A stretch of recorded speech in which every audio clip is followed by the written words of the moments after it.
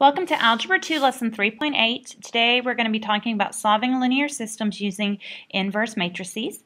Um, so first thing we need to talk about are identity matrices. An identity matrix is basically works as a 1 as far as multiplication goes um, for square matrices. So there's an identity matrix for 2 by 2 matrices, there's one for 3 by 3 matrices, and the cool thing about them is if you multiply them by a matrix of that same size, you just end up with the original matrix back again. Just like if you take a number like 3 and multiply it by 1, you just end up back with 3. It preserves the identity of 3. Well, if you take a matrix A that's 2 by 2 and you multiply it by the identity matrix 1, 0, 0, 1, then you're going to end up back at A. And that's why it's called an identity matrix because it preserves the identity of the matrices it multiplies. And so for a 2 by 2, um, you have ones down the main diagonal going from left to right and zeros everywhere else. That pattern continues. So for a 3 by 3 you have ones going down the main diagonal and zeros everywhere else. And for a 4 by 4 or 5 by 5 all of those you would see the same pattern continue. Okay, now along with the idea of identity, there's an idea of inverse. Um, and that's going to be the matrix that um, kind of undoes what the original matrix does. And when you multiply them together, you end up at 1. So when two square matrices multiply to equal their corresponding identity matrix, the two square matrices are inverses of each other. The symbol for the inverse of A is A and then with a superscript of negative 1. Okay, the inverse of a 2 by 2 square matrix um, a 2 by 2 square matrix has an inverse matrix, there should be a word inverse here, if AD minus BC does not equal 0. And the reason it can't equal 0 is because it's going to be in the denominator of a fraction here in a second.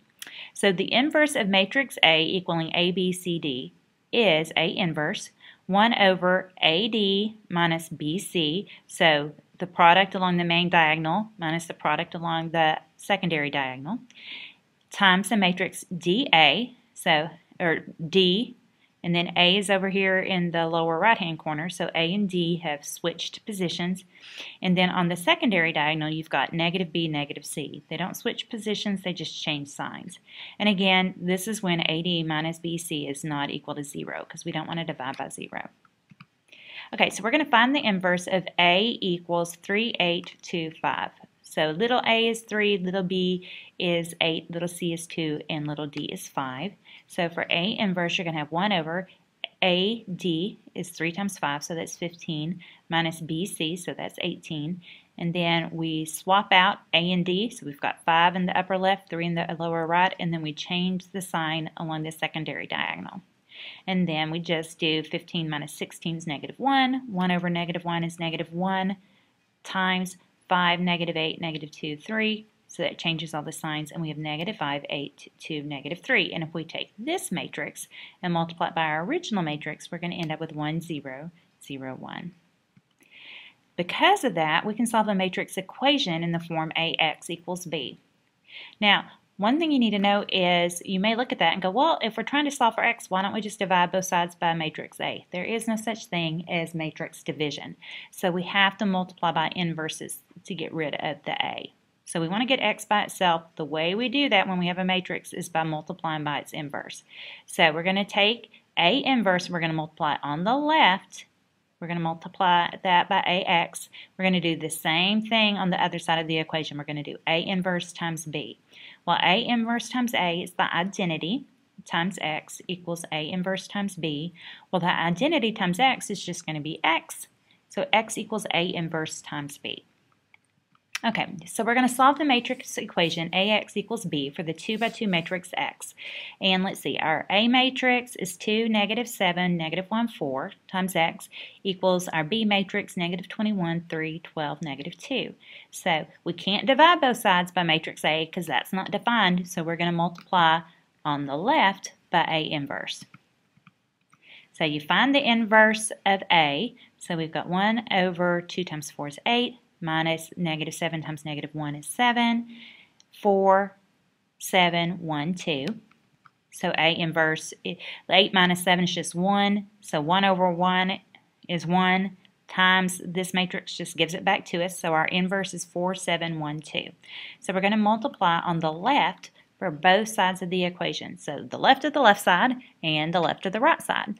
And here you do just the straight up matrix multiplication that we've been doing. For example, I'm not going to go through all the steps, but I'll do it for the first one. 4 times 2 is 8, plus 7 times negative 1. 7 times negative 1 is negative 7. 8 plus negative 7 is 0. Uh, that's not right. 8 plus negative 7 is 1. I'm so silly. Um, and so that's where we get the 1 here. I'll do one more since I was goofy on that one. So now we're ready to do first row times first column. We get 4 times negative 7 is negative 28, plus 7 times 4 is 28. Negative 28 plus 28 is 0. And now you go to the second row, first column, and you get 0. Second row, um, second column, and you get 1. So look, we got our identity matrix. That's what we wanted to get. Now over here, we're going to get our product, our actual answer. And so again, it's first row times first column gives us 0. First row times second column gives us negative 2, and so on. Do second row, first column, and get 3. Second row, second column, and get negative 1. Well, the identity times x preserves the identity of x, and so we get x equals our product, 0, negative 2, 3, negative 1. So that is the solution to our equation. All right, now 3 by 3 matrices can have an inverse and we can do it by hand. It's just not very much fun. So I'm going to show you how to do this using your CAS. So if you don't have it with you, go get it. Then we're going to use the calculator to multiply um, this matrix A by the inverse or what we think is the inverse that we get and make sure it comes out to be the identity. All right, so you're going to go to your scratch pad and you're going to choose the same um, key you go to to get a fraction. It's the one right by 9 and right by the library key and you're going to choose the uh, this matrix one, not the 2 by 2 or the row or the column, but the one next to it, because that way we can pick how many um, rows and columns we want. And we're going to select 3 and 3. All right, this is what you should get once you select that and say OK. All right, now just go through and enter values as you go across. Just do 2 and then arrow over to 1, arrow over to negative 2, and so on. Okay, once you get that, then you're going to click outside of the matrix and you're going to select the caret key, the one that the little rooftop key, so that you get a superscript. And you're going to put negative 1 there, and then you're going to press enter. And boom, it gives you the inverse matrix. So write this down, write A inverse equals, and put this matrix. Okay, now we're going to make sure that that is the matrix by multiplying. We're going to take our original the 2, 1, negative 2, 5, 3, 0. You can either cut and paste it in or just retype it in and then do times. And then either cut and paste or type in your inverse matrix. Then press equals and boom, you get the 3 by 3 identity. We've proven, we've shown that these two are um, inverses of each other. All right, we're going to use a matrix to say uh, matrix to inverse matrix to solve the linear system 2x minus 3y equals 19, x plus 4y equals negative 7. You need to make sure your x's are lined up, your y's are lined up, and your constants are lined up like when you're doing elimination. And we're going to write this system as a matrix equation. And so we're going to do the coefficient matrix. Okay, and so we'll have the coefficients from the first equation, so 2 and negative 3, and then in the coefficients of the second equation, 1 and 4. Then we have a column vari uh, matrix with our variables. And so we just go in order from top to bottom. So our first variable was x, then our next variable was y. And then that's going to equal our constants. So 19 goes with the first equation, negative 7 goes with the second equation. So we've got our matrix um, equation set up. So now we want to find the ma inverse matrix of A. And you might want to practice doing a few of them by hand, but you could also put this in the calculator. And you would get 4, 11, 4 elevenths, 3 elevenths, negative 1 eleventh, and 2 elevenths. All right, we're going to multiply on the left. You really only have to do this on the right-hand side of the equation because you know on the left, it's going to multiply away a and give you the identity. So you know it's going to be x equals. You just need to do A inverse on the left-hand side of B. So A inverse times B. And if you do your matrix multiplication, if you do the 4 elevenths times 19 plus um, 3 elevenths times negative 7, you're going to get 5. And then go back and do the second row by the first column. So negative 1 11th times 19 plus 2 11ths times negative 7, and you get negative 3. So that means x is 5 and y is negative 3. And so you just write it as an ordered pair. To check, you just go put the x value in, in for x, the y value in for y, and make sure you end up with true statements for both equations. All right, let's look at a word problem. A company sells three types of movie gift basket. A basic basket with two, with two movie passes and one package of microwave popcorn costs $15.50. A medium basket with two movie passes, two packages of popcorn, and one DVD costs $37. A super basket with four movie passes, Three packages of popcorn and two DVDs cost $72.50. We want to find the cost of each item in the gift baskets. So let's set up our equations. So our first equation is for the cost of a basic basket, and that's going to be two times the cost of the movie pass plus the cost of the popcorn. There's zero DVDs in it, so we don't have to write that down. 2 times the cost of the movie pass plus 2 times the cost of popcorn plus the cost of DVD gives us the cost of the medium basket four times the cost of a movie pass plus three times the cost of popcorn plus two times the cost of a DVD equals the cost of a super basket.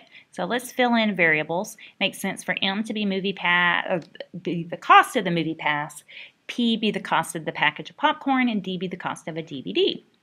So our first equation is 2M plus P equals 1550.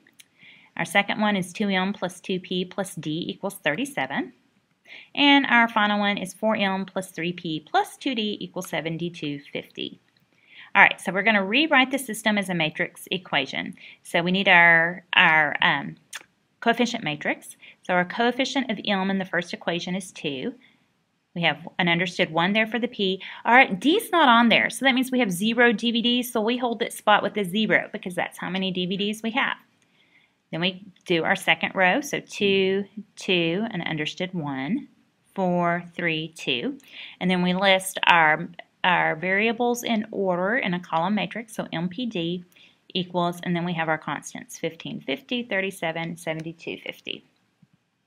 All right, so here's the cool thing. We know we want to do A inverse times B, so we can just type that exactly, just that into our calculator. Look, we can do the a matrix, the coefficient matrix, so 2, 1, 0, etc., inverse, and then times, you got to tell it times, and then your um, constant matrix, and then press enter, and boom, it takes you to the answer. So 7, 1.5, 20. So that means the movie passes cost $7 a piece, popcorn costs $1.50 a piece, and a DVD costs $20. Okay, guys, that's it for examples. Um, make sure you do the problems to try on your own, and I will see you in class. Thank you very much. Have a good day.